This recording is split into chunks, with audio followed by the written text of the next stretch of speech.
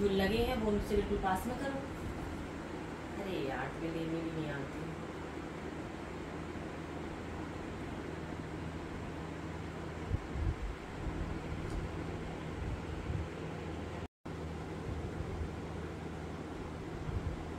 वहीं पास में जाके बनाओ बिल्कुल पास में जाके।